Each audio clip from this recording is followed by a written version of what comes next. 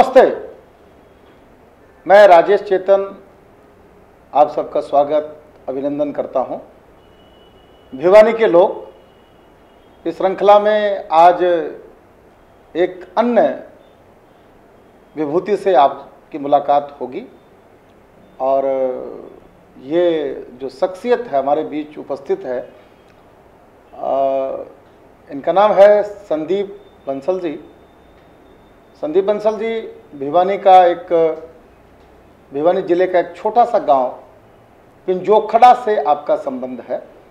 और, आपने ग्यारह सौ रुपये की छोटी सी नौकरी से अपना करियर आरंभ किया। और आज स्टेनलेस स्टील इंडस्ट्री के वो आइकॉन हैं, बादशाह हैं। उनका नाम है अपनी इंडस्ट्री के अंदर। कोई भी व्यक्ति जो गैस स्टोव बना रहा होगा उसका संबंध निश्चित रूप से संदीप बंसल जी से ज़रूर आया होगा। ऐसी एक बड़ी पर्सनैलिटी से मैं आपकी मुलाकात करवा रहा हूँ। संदीप जी नमस्कार। नमस्कार जी। संदीप जी आ, आपका परिवार भिवानी ज़िले के पिंजोखड़ा गाँव से आपका संबंध है। मैं आपका पारिवारिक पृष्ठभूमि के बारे में आपके जन्म और आपकी पढ़ाई के बारे में जानना चाहता हूँ। हमारे फादर भिवानी के छोटे से गाँव पिंजोखरिया में रहते थे।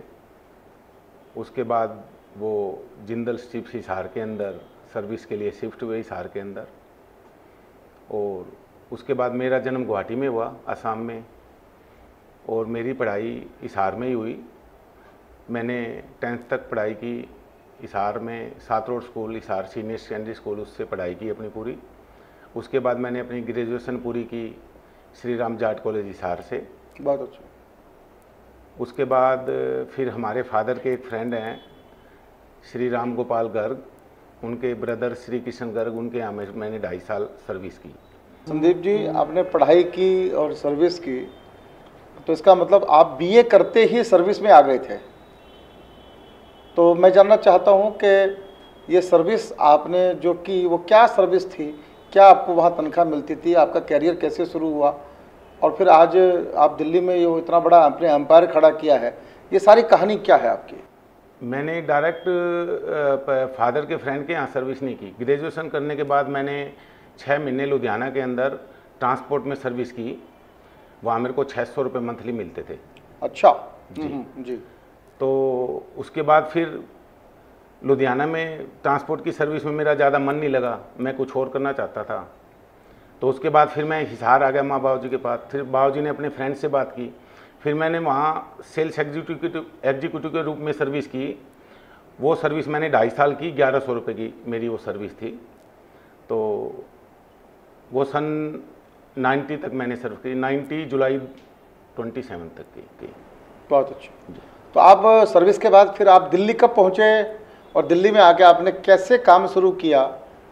ग्यारह सौ रुपये की नौकरी करने वाला आदमी ने क्या शुरू किया दिल्ली आके? थोड़ा सा ये कहानी क्या है आपकी? जब मैं सर्विस कर रहा था तो उस टाइम हमारे सिस्टर है, संगीता बंसल। उनकी मैरिज हुई सुरेंद्र जैन जी से। जो उनके जिया जी हैं, सुभाष जैन जी, उनको इस बात का पता चला कि मैं भारत मेटल में सर्विस करता हूँ एक रोलिंग प्लांट है हिसार के अंदर, और मैं वहाँ पर सेल्स एग्जीक्यूटिव हूँ। तो सुभाष जैन ने मेरे को अप्रोच किया। कि आप हमारे यहाँ आ जाओ। हम आपको पार्टनरशिप देते हैं। आप हमारे यहाँ सीट का काम, सारा जो आप सीट का काम भारत मेटल में देखते हो, आप हमारे यहाँ देखो। तो मैंने उनसे आके बात की। फिर मैं दिल्ली में सन 90 में आ गया था, जुलाई में। तो उसमें जब जिया जी से बात की तो हम उसमें चार पार्टनर शुरू में थे। मैं, बाबूराम जैन, सुभाष जैन और हमारे जिया जी सुरेंद्र जैन।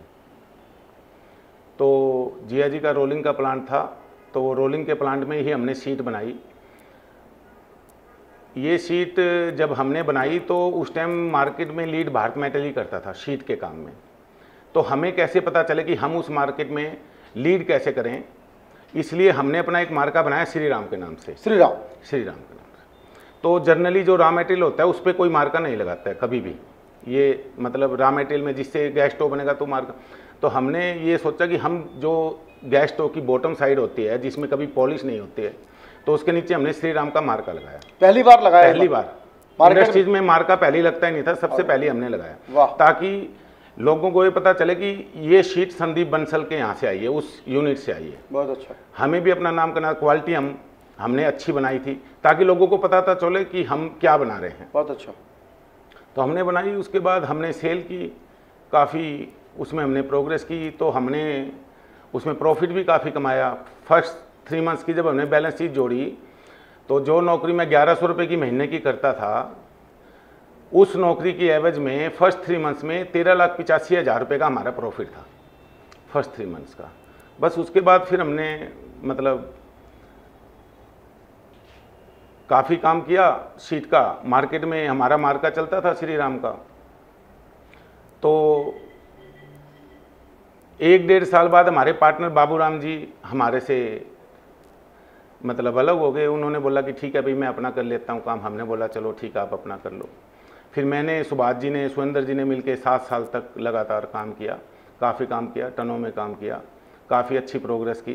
फिर सन 2000 पे 2000 सन 2000 में हमने वजीरपुर में अपनी एक फैक्ट्री लगाई एक रोलिंग प्लांट सिंगल रोलिंग लगाई।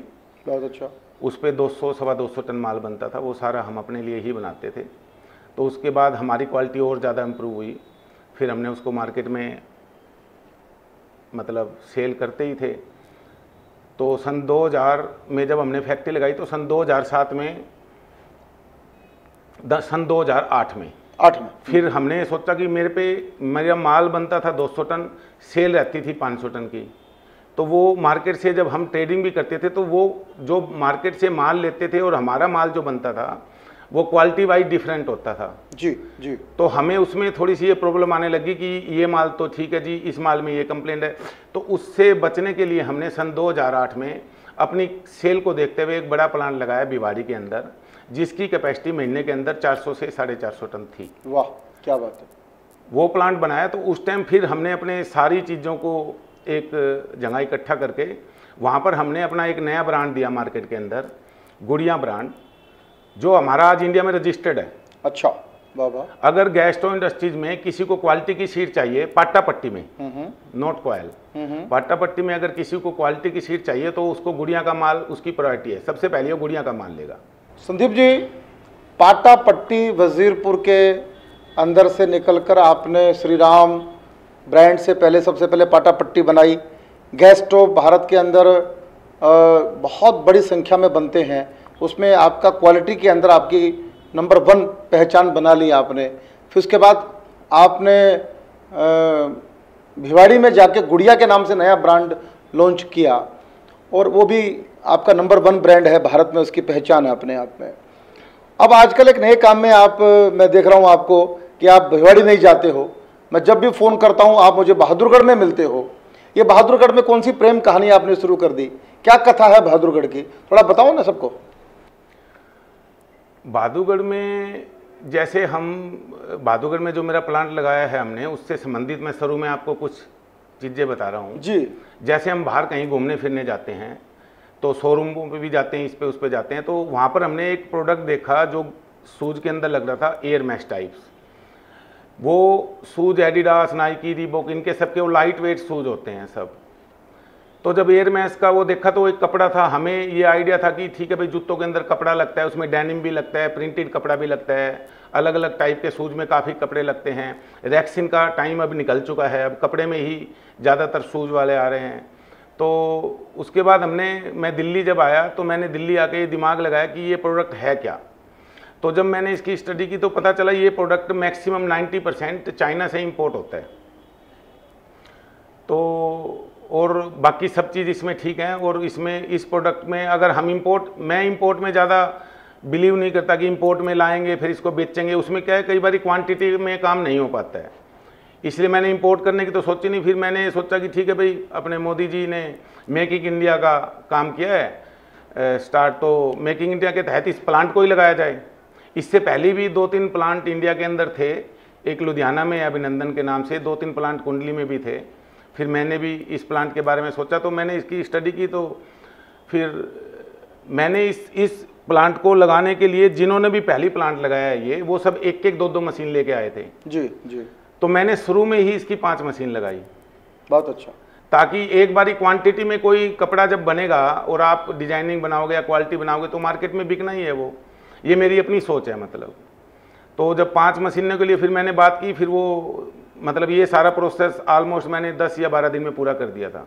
और दस बारह दिन में अपने जिस भी चाइना का जो भी डिस्ट्रीब्यूटर था उसको बुला के उसको शुरू में जो पैसा वैसा देते हैं बयाना वगैरह कह लो मशीन का जो भी शुरू पैसा वो दे के फिर ये मैंने प्लांट लगाया था सारा।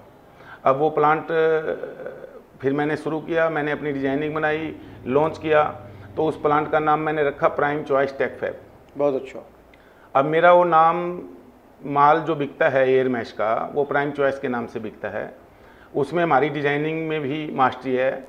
ऑल ओवर इंडिया में जितने भी डिज़ाइन कोई भी नया लॉन्च होता है ऑल ओवर इंडिया में, उसमें वो डिज़ाइन सबसे पहले मैं ही लॉन्च करता हूँ। चाहे वो चाइना से कोई डिज़ाइन आए या चाहे कोई मेरी पार्टी मेरे को दे दे कि संदीप जी ये बना दो तो उसको बनाने में सबसे पहले मेरा ही रोल है। बाद में लोग कॉपी करते हैं, वो तो मार्केट में है ही। जूता कहीं भी बाज़ार में जाएगा तो लोग करेंगे। फिर उस प्लांट को एक साल बाद जो पाँच मशीनें लगाई थी, मैंने फिर दो मशीनें और बढ़ाई। अब मेरे पास सात मशीनें हैं, मेरी कैपेसिटी महीने की तीस से पैंतीस टन है। और ऑर्डर मेरे पे रहते ही हैं, महीने के सौ टन के करीब रहते हैं। अभी और उसमें एक्सपेंशन करूँगा मैं छः सात मशीन और लेके आऊँगा। तो बस इस हिसाब से। आपने देखा मित्रों के संदीप बंसल जी ग्यारह सौ रुपये की नौकरी से अपना कैरियर शुरू करने के बाद, जब स्टील पाटा के बिज़नेस में गए, गैस स्टोव की सीट बनाने के बिज़नेस में गए तो अपना सबसे पहले अपना ब्रांड एस्टेब्लिश किया, चाहे वो श्री राम ब्रांड हो या आज का गुड़िया ब्रांड हो। और अभी तीन साल पहले अगर वो एयरमेस के बिज़नेस में आए, जो जूता इंडस्ट्री का सबसे अहम प्रोडक्ट है, उसके बिज़नेस में आए तो एयरमेस के अंदर भी उन्होंने प्राइम चॉइस का एक बड़ा ब्रांड स्टेब्लिश कर दिया।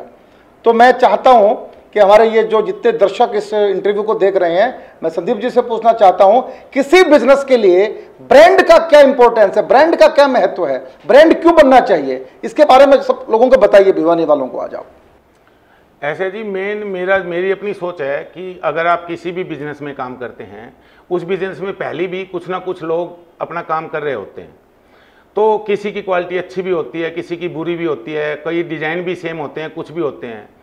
तो अगर आप अपना ब्रांड नेम नहीं बनाओगे तो जिस भी आप अपने बायर्स को अपना माल बेच रहे हो, वो उस बायर के पास अगर माल आपका अच्छा भी गया तो जिसका नाम पहले अच्छे में गिनती होती है तो वो जब माल वहाँ पर जाते हैं, सब डिज़ाइन सेम होते हैं मिक्सअप होते हैं, जूते में लग जाते हैं तो उसके बाद आप ये पता नहीं कर सकते कि किसका माल अच्छा था। तो ब्रांड नेम की सबसे पहली ज़रूरत तो ये है कि आपको किसी को ये बताना भी तो है कि हाँ भाई, ये बंदा इस ब्रांड के नाम की फैक्ट्री ये है, यहाँ से ही माल आ रहा है। और ब्रांड नेम में क्या रहता है कि जब आपकी क्वालिटी मेंटेन है, ब्रांड नेम में ये तो है नहीं कि आपने ब्रांड नेम बना के मार्केट में माल बेच दिया तो भी नहीं बिकेगा। ब्रांड नेम को एस्टेब्लिश करने के लिए आपको क्वालिटी भी बनानी पड़ेगी, आपको डिज़ाइनिंग भी बनानी पड़ेगी। और आप क्वालिटी बनाते हैं, डिज़ाइनिंग बनाते हैं, ब्रांड से नेम बेचते हैं तो आप मतलब काफ़ी प्रोग्रेस करेंगे। संदीप जी, भिवानी परिवार मैत्री संघ में अधिकांश एंटरप्रेन्योर इंडस्ट्रियलिस्ट हैं। एक इंडस्ट्रियलिस्ट ये सोचता है कि क्वालिटी का माल बनाऊँगा तो कॉस्ट महँगी हो जाएगी माल बिकेगा नहीं। तो ऐसे उस उन उनके लिए आप, के, आप क्या कहना चाहोगे? जिनके दिमाग में ये बात है कि क्वालिटी का माल बनाएँगे महँगा होगा महँगा माल इंडस्ट्री में बिकता नहीं है आप कैसे क्या मंत्र है आप कैसे बेच पा रहे हो उस सामान को? ऐसे जी मेन मेरा मेरी अपनी सोच है कि अगर आप किसी भी बिज़नेस में काम करते हैं उस बिज़नेस में पहले भी कुछ ना कुछ लोग अपना काम कर रहे होते हैं। तो किसी की क्वालिटी अच्छी भी होती है, किसी की बुरी भी होती है, कई डिज़ाइन भी सेम होते हैं, कुछ भी होते हैं। तो अगर आप अपना ब्रांड नेम नहीं बनाओगे तो जिस भी आप अपने बायर्स को अपना माल बेच रहे हो, वो उस बायर के पास अगर माल आपका अच्छा भी गया तो जिसका नाम पहले अच्छे में गिनती होती है तो वो जब माल वहाँ पर जाते हैं, सब डिज़ाइन सेम होते हैं मिक्सअप होते हैं, जूते में लग जाते हैं तो उसके बाद आप ये पता नहीं कर सकते कि किसका माल अच्छा था। तो ब्रांड नेम की सबसे पहली ज़रूरत तो ये है कि आपको किसी को ये बताना भी तो है कि हाँ भाई, ये बंदा इस ब्रांड के नाम की फैक्ट्री ये है, यहाँ से ही माल आ रहा है। और ब्रांड नेम में क्या रहता है कि जब आपकी क्वालिटी मेंटेन है ब्रांड नेम में ये तो है नहीं कि आपने ब्रांड नेम बना के मार्केट में माल बेच दिया तो भी नहीं बिकेगा। ब्रांड नेम को एस्टेब्लिश करने के लिए आपको क्वालिटी भी बनानी पड़ेगी, आपको डिज़ाइनिंग भी बनानी पड़ेगी। और आप क्वालिटी बनाते हैं, डिज़ाइनिंग बनाते हैं, ब्रांड से नेम बेचते हैं तो आप मतलब काफ़ी प्रोग्रेस करेंगे। ये सब लोग सोचते हैं कि हम क्वालिटी बनाएँगे, हमारी प्रोडक्शन भी कम होगी कॉस्टिंग भी बढ़ेगी, सब सोचते हैं। पर मेरी अपनी ज़िंदगी का मतलब निचोड़ है ये कि अगर आपने क्वालिटी बनाई है, आप प्रोडक्शन को मत देखो, आप अपने ब्रांड नेम को देखो क्वालिटी को देखो। जिस जैसे आज कोई एडिडास है, कोई नाइकी है या कोई और ब्रांड है, जो भी अगर आदमी क्वालिटी बनाता है ब्रांड तो उसी का बिकता है ना जी। नाम उसी का होता है मार्केट के अंदर। जूता बनाने वाले तो बहुत कंपनी एयर मैश बनाने वाले भी बहुत हैं। तो ब्रांड बना के आप जब मार्केट में माल बेचते हो, जब आपकी क्वालिटी मेंटेन होती है, अगर क्वालिटी मेंटेन रेगुलर आपकी है तो अगर वो चीज़ मार्केट में आपकी अगर महँगी भी होगी तो लोग उसको लेते हैं। बहुत अच्छा। जो क्वालिटी बनाने वाले मैन्युफैक्चरर लेते हैं आपको फिर अप्रोच भी क्वालिटी वाले को ही करना चाहिए। को करना अगर आप जनरल मार्केट में अप्रोच करोगे तो वो क्वालिटी उनको क्वालिटी नहीं चाहिए उनको ना ब्रांड नेम चाहिए उनको फिर वो सस्ता माल चाहिए वो हम करते नहीं। जैसे हमारे एयर मैश के ट्रेन के अंदर नबी क्रीम एक मार्केट है दिल्ली के अंदर नबी क्रीम उसके अंदर बहुत ज़्यादा माल लगता है जो कैप्स में यूज़ होता है पिट्ठू बैग में यूज़ होता है बच्चों के बैग में यूज़ होता है। तो मैक्सिमम जो मेरे से पहली इंडस्ट्रीज़ आज भी हैं जो पहली थी वो भी सब का फोकस आज भी नबी करीम में ही है। वो नबी करीम के लिए ही माल बनाते हैं वहीं बेचते हैं। वहाँ क्वालिटी की कोई वैल्यू नहीं। सस्ता माल। सस्ता माल बनाते हैं सस्ता बेचते हैं उसमें प्रोडक्शन आती है। पर मेरा जो मैंने जब एयर मैश का प्लान लगाया तो उस टाइम मेरा पहला टारगेट ही सूज इंडस्ट्रीज़ थी कि मैंने सूज इंडस्ट्रीज़ को ही अप्रोच करना है। मैंने नबी करीम माल बेचना ही नहीं है। और उससे पहले सूज इंडस्ट्रीज़ में इतनी एयर मैश लगती भी नहीं थी। कपड़ा लगता था, डेनिम लगता था और और दूसरी टाइप की कुछ वैक्सीन वैक्सीन भी लगती थी। तो जब हमने माल बना के सूज मार्केट में अप्रोच किया तो हमने अपनी डिज़ाइनिंग दी मार्केट में। हम ये बना रहे हैं, आप ये देखो, वो देखो। तो हमारे डिज़ाइनिंग बहुत ही चौदह पंद्रह हमारे डिज़ाइन थे, सारे मार्केट में आज हिट हैं। अब तो मेरे पे सैंतीस अड़तीस डिज़ाइन है, सारे मार्केट में हिट हैं। संदीप जी, क्या मैं आपके बिहार पे, आपके गाँव के भिवानी के लोगों को ये कह सकता हूँ, क्या कि अगर वो भी एयर मैस के बिज़नेस में आना चाहें तो संदीप जी की मदद ले सकते हैं। ऐसा बोल सकता हूँ क्या? बिल्कुल बोलो आप। उनको ये भी बोलो कि वो एयर मैश के प्लांट में आएँ। जितनी आज की डेट में खपत है उससे आधी भी प्रोडक्शन नहीं है अभी। बहुत लोग इस लाइन में आ रहे हैं। मेरा प्लांट लगाने के बाद भी तीस मशीनें नई एयर मैश की लगी हैं। और उनको मेरी कहीं भी ज़रूरत है मैं उनके साथ मिलूँगा कदम से कदम मिला। दोस्तों तो बहुत अच्छा आमंत्रण दिया है संदीप बंसल जी ने भिवानी परिवार मैत्री संघ के मित्रों को। आप कोई नया बिज़नेस खोज रहे हैं आप कोई नया काम खोज रहे हैं तो एयर मैस एक विकल्प हो सकता है और उसके लिए उस इंडस्ट्री के इंसाइक्लोपीडिया संदीप बंसल जी अपने पैटर्न मेंबर आज हमारे से बात कर रहे हैं उनकी पूरी सहायता उनकी पूरी मदद आपको मिल सकती है। बहुत अच्छा किया संदीप जी आपने अपने भाइयों को ये आपने अपील की है। संदीप जी आ, आपके मैं परिवार में मेरा आना जाना है आपके परिवार में। आ, और आप परिवार बहुत बढ़िया है आपका।